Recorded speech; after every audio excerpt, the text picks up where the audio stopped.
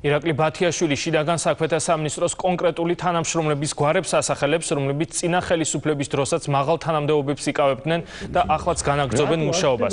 ბათიაშვილის მტკიცებით, კუდის ყოფილი მაღალჩინოსანი გია ჩიხლაძე და მინისტრის ყოფილი მოადგილე ვაჟა მაზმიშვილი ადრეც ბოროტად იყენებდნენ სამსახურებრივ მდგომარეობას და მისივე თქმით, დღესაც განაგრძობენ ვანო მერაბიშვილის ინფორმირებას და საიდუმლო ინფორმაციას სამინისტროდან სწორედ მათი დახმარებით ჯონავს. ირაკლი ბათიაშვილი შინაგან საქმეთა სამინისტროში ძირეული რეორგანიზაცია ინფორმაციის აუცილებლობაზე საუბრობს. დამნაშავეთ დავშევში. ყველა ინფორმაცია რა ხდება შინაგან საქმეთა სამინისტროში ყოველ დღე დღის ბოლოს დევს ვანოსთან სახში. მაგიდაზე სულ ინფორმაციები აქვს, ინფორმაციები ჟონავს. ეს არის დაუშვებელი რაღაცა. ეს არის პირდაპირ ნელი მოქმედების ნაღმი, რომელიც შენ ყავს ესეთ მნიშვნელოვან სტრუქტურაში და ამის უკან რა მიზეზები იმალება, მე ნამდვილად ვერ გეტყვი.